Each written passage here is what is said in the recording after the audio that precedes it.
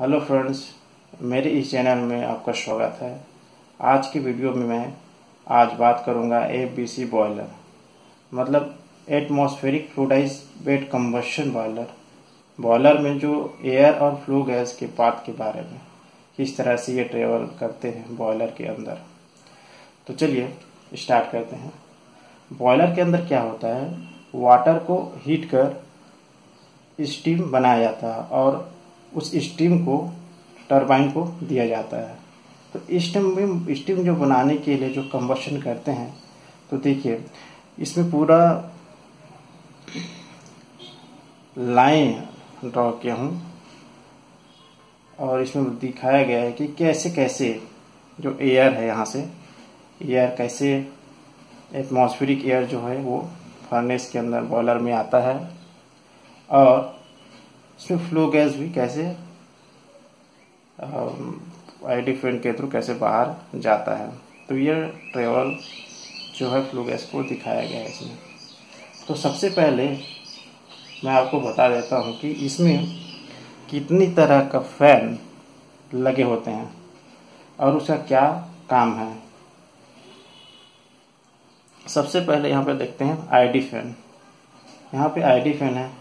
इसे इंड्यूड draft fan भी कहते हैं। इसके आगे आगे और पीछे डैम्पर होता है जो रेसिप्रोकेटिंग जो पावर सिलेंडर से ऑपरेट होता है। यहाँ पे मोटर लगे होते हैं। ठीक है? तो इसका काम है फर्नेस के अंदर, इसका काम जो है वो फर्नेस के अंदर जो गैस है जो जो बर्न होने के बाद, जानने के बाद जो बनता है, उसे ये खींचने का काम करता है। और फर्नेस के अंदर वो निगेटिव प्रेशर क्रिएट कर देता है, बनाता है। बॉयलर फर्नेस के अंदर जो फ्लू गैस जो कम्बसन से बनता है, यहाँ वह फ्लू गैस पूरा बॉयलर सेक्शन से होकर गुजरता है। जैसे कि secondary super heater primary super heater से निकाल कर ये जाता है इकोनोमाइजर को। अब इकोनोमाइजर में क्या होगा? इस फ्लू गैस की जो हीट है जो फ्लू गैस इसमें आ रही है उसकी जो हीट है उसको ये इकोनोमाइजर टू को हीट कर देगा और जो आ, जो बॉयलर फीट पंप से आने वाली जो पानी है ठीक है? जो वाटर है, उसको वो हीट कर देगा। इससे क्या होगा? जो बॉयलर के जो कोल कंजप्शन है, वो कम लगेगा और बॉयलर की इफिशियंसी भी बढ़ेगी। अब flue gas air pre heater पे पहुँचता है। उसके बाद एयर प्री हीटर से ईएसपी e में इनलेट करेगा और ईएसपी e में आउटलेट करेगा। आउटलेट होने के बाद ये डैम्पर से निकल के ये आईडी फ़ैन के थ्रू ये जो क्लीन गैस है वो चिमनी में चलाया गया चिमनी से बाहर एटमोसफियर में रिलीज़ हो जाएगा। तो इस तरह से ये फ्लू गैस ट्रेवल किया। दूसरा है एफडी फ़ैन एफडी फ़ैन का क्या मतलब? जो एफडी फ़ैन को पोस्ट फ़ैन भी कहते हैं। इसका क्या काम है? ये जो फ़ैन है, वो एटमॉस्फेरिक एयर को खींचता है। और फ़ैन बाहर से जो एटमॉस्फेरिक प्रेशर एटमॉस्फेरिक एयर है, उसे खींच खींचकर वो air pre heater air free heater में भेज देता है। जहाँ ये एयर फ्लू गैस से वो हीट हो जाता है, और जो गर्म, जो यहाँ आने के बाद जो एयर है, वो कोल्ड एयर, वो जो हॉट एयर में बदल जाता है। और ये वाइन बॉक्स को भेजा जाता है, जहाँ पे बहुत सारे एयर नोजल लगे होते हैं। अब यहाँ दो हेडर है। अब इस हेडर का क्या करना है?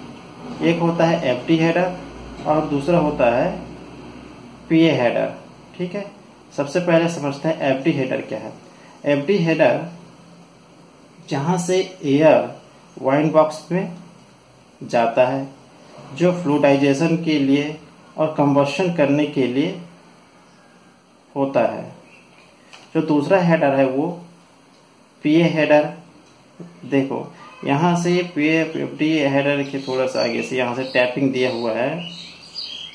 और पीए फ़ैन के द्वारा वो एयर को पीए हेडर में भेज देते हैं। पीए फ़ैन का क्या काम रहता है, जो ये जो फ़ैन है, जो प्राइमरी एयर एयर जो, का जो एयर है, वो पीए लाइन में आने वाली, जो पीए लाइन, ये पीए लाइन है, इस पीए लाइन में आने वाली जो फ्यूल है, उसको एयर के द्वारा फर्नेस में ये भेज दिया जाता है। यहाँ पे कोल नोजल लगा होता है, यहाँ से ये रिलीज़ हो जाता है, कोल नोजल में चला जाता है।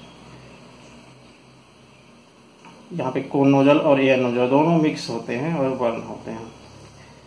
यह सीएचपी से एक बंकर में कोल को डाला जाता है स्टोर किया जाता है और ट्रैक चैन फीडर के द्वारा पजामा चूट से वो पीए लाइन के कोल आता है।